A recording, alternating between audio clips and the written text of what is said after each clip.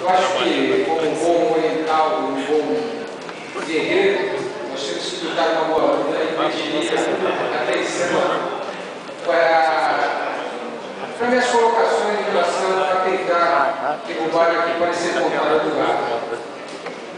É, esse projeto de complementar foi apresentado não por ideia deste vereador, não só por inspiração, como foi falado pelo nosso presidente, pelo homem que representa hoje o Código de Defesa do Consumidor, Adelino Rodrigues, mas também pelas audiências da qual participei, pelas visitas da qual fiz, é, dentro das discussões logo no início do mandato, as visitas às construtoras e as intermediações junto com a nova vereadora Cassandra Maroni, das reclamações que a população fazia, faz do que acontece na relação entre as construções e as vizinhanças.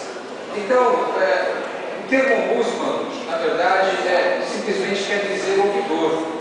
É um termo que, que cria a representação do cidadão dentro de um ambiente de empresa, organização, instituição. O parecer contrário, o GATER, ele vem é, fundamentado na interferência da lei iniciativa, artigo 170 da, do, do, nosso Código Constitucional,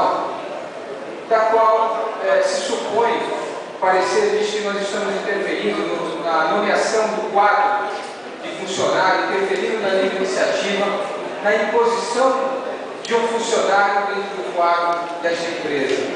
Só que, no mesmo parecer que o Gaster coloca, a comissão, há um contraditório, há um paradoxo, porque ele define é, no item 5, a Lei Federal 5.194, que regula o exercício das profissões, ele regula a fundamentação do engenheiro, a atividade do engenheiro técnico.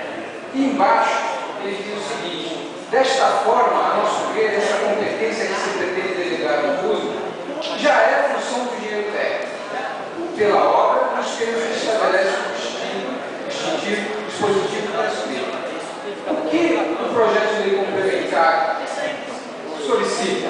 Eu peço no artigo 3 da mesma forma como a nova vereadora Castanha apresentou hoje, um projeto de lei complementar solicitando informações, o inciso terceiro que eu peço de complementação também é de informação ao município.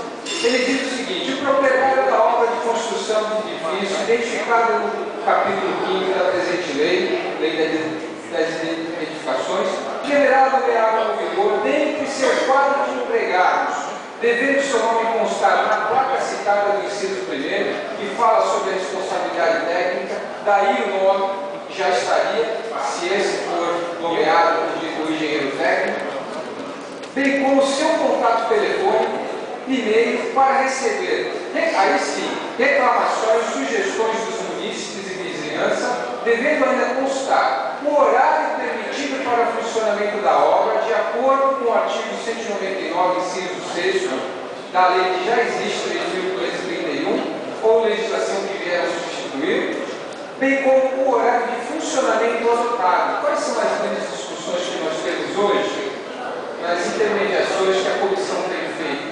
reclamação de barulho, reclamação de poeira, não cumprimento de fiscalização. O artigo 76 do Código de Edificações exige que, o, que a construtora disponibilize para fiscalização municipal todas as imposições dos dois artigos que se constam, tanto no artigo 1 que fala da colocação da placa, do nome do, do número do processo, do nome do engenheiro técnico, bem como do telefone da Secretaria que cabe a fiscalização e dos documentos que são obrigados a ter na obra, já tem todas as informações necessárias para o município ser esclarecido sem ter necessidade de reclamar a ouvidoria pública municipal. Então, nós, nós teríamos uma primeira instância de discussão que já resolveria um problema sem que o município precisasse interferir para se no momento.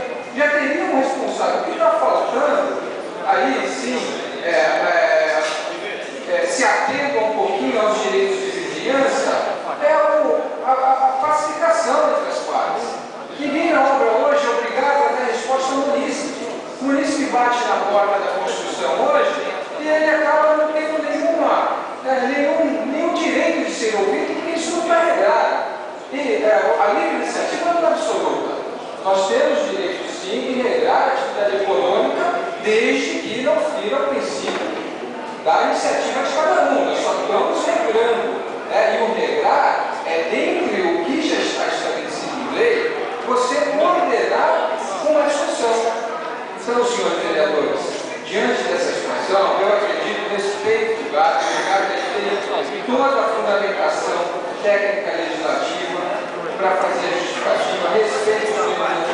eu não, vereador.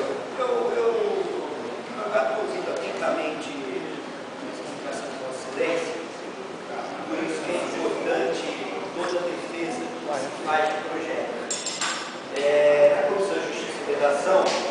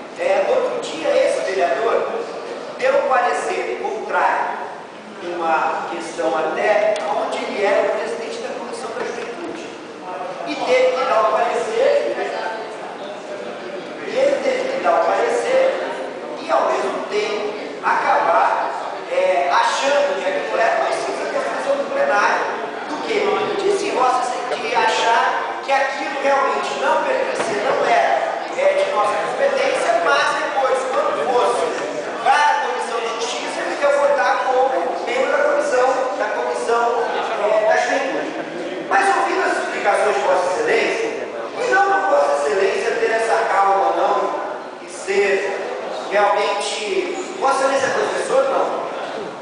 Sorte, amiga, praticantes. Mas realmente Vossa Excelência faz uma